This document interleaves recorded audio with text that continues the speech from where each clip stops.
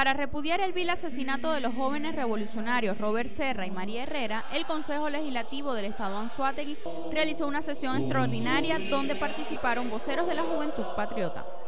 El asesinato vil, vilmente asesinado de nuestro camarada Robert Serra, sabemos que no es algo fortuito, es algo totalmente planificado a través de, de cuerpos de inteligencia, a través del paramilitarismo, donde nosotros hoy rechazamos contundentemente estos actos, ya que ellos han venido, digamos, evolucionando en sus formas de ataque.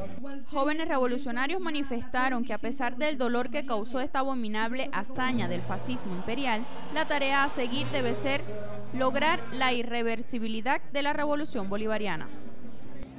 Yo creo que el compromiso, la venganza eterna, la venganza infinita va a ser seguir trabajando por ser eh, como Robert y tener esa misma agilidad, esa misma capacidad, esa misma pasión de decir las verdades, esas verdades necesarias que en su momento Mario Benedetti las decía que había que decirlas. Bueno, Robert Serra murió por la verdad.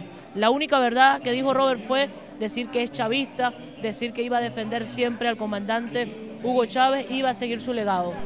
Para destacar la participación de la juventud en el Estado Anzuategui, se creó y aprobó en primera discusión la Orden Honor al Mérito Juventud Heroica Robert Serra. Para que el 16 de enero de 1987 fue el fundador del movimiento revolucionario.